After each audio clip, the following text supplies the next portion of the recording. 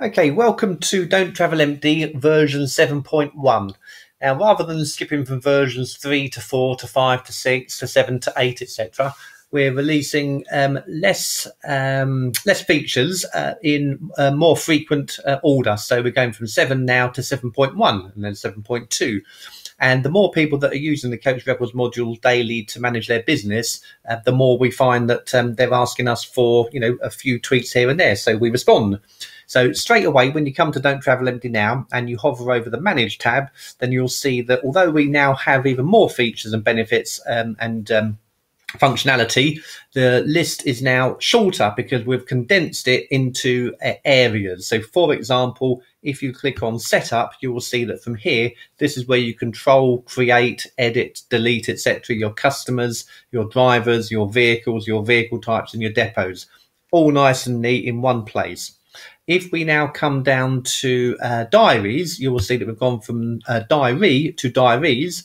And the daily diary is still the same. This is where you manage your uh, bookings. This is where you will allocate your drivers and your vehicles, and you have access to the paperwork and editing the job, etc. From here, we also now have a weekly diary and a monthly diary. So if you're in the office, it's really busy, and somebody takes a phone call and says, "Quick, can we do a job next Wednesday?"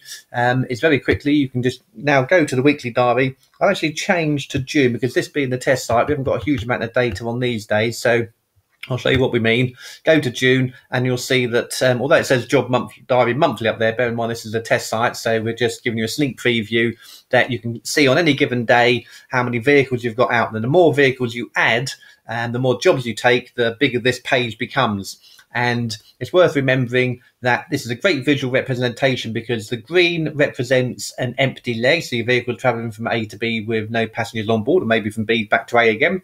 Uh, the blue is actually when the vehicle has passengers on, and the red represents when the vehicle is stationary uh, in between dropping passengers off and picking them up again. So straight away, these, are these are uh, test jobs, but they're fairly um, representative of the kind of jobs that a coach operator may take. And you can see straight away there's a huge amount of availability um, and dead time and dead mileage. Effectively, these blues are the bits we're being paid for, and these are where the vehicles are just sitting doing nothing really, or, or moving from A to B with no passengers on board. And if you click over each individual uh, leg of the journey, you'll get the information. This is an empty leg going from Cromer down to Bath, 16 seater. Um, if we click on the blue leg, then we've got uh, the full leg. Then if you click on the red, then you have the available vehicle. So it's a really quick, clear, concise representation of how busy you are on any given day. And the monthly diary um, is is just another uh, another take on that. And again, we'll go to June because that's where you get a good idea of uh, each particular day, and you can you can see the diary and um, quickly. Yes, we can do a job on that day, or no, we can't because we're, we're too busy. So here we've got the the um, job diary for the monthly. This is in June, and it shows every day of the month as we scroll down, and you can see very quickly just how busy you are. You know, obviously a few days, a few jobs here, nothing on the 13th, and here, yeah, a bit busier. And again, the more jobs you take, the the diary just keeps extending, and you can see very quickly how busy you are. It works exactly the same. You click on there and it shows you the particular leg of the journey. And if you show, click on here, then it will show you the um, um, available vehicles. So you get a good representation again of how um, how busy you are on any given day. And then finally, uh, actually, no, sorry, not finally, we've got two more things yet. I'm um, getting ahead of myself. From the new search job stroke quote section where we've, we've bundled jobs and quotes together, You've got the ability to search for confirmed jobs that are in the future, um, email, edit, uh, all the confirmation letters, all the paperwork, control everything from there.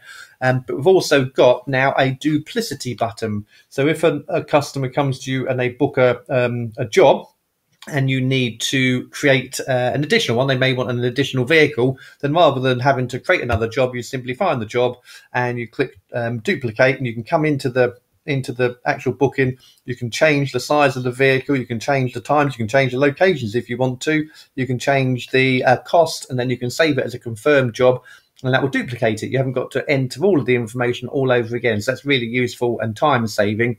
And then finally, we have the search jobs and quotes facility, which is really good because as people are using it more and more, then finding the information within the system needs to be fine tuned. So we've reacted to that. And from the private hire search facility, all jobs in the past and in the future and in the present can be searched by every single possible permutation you can think of.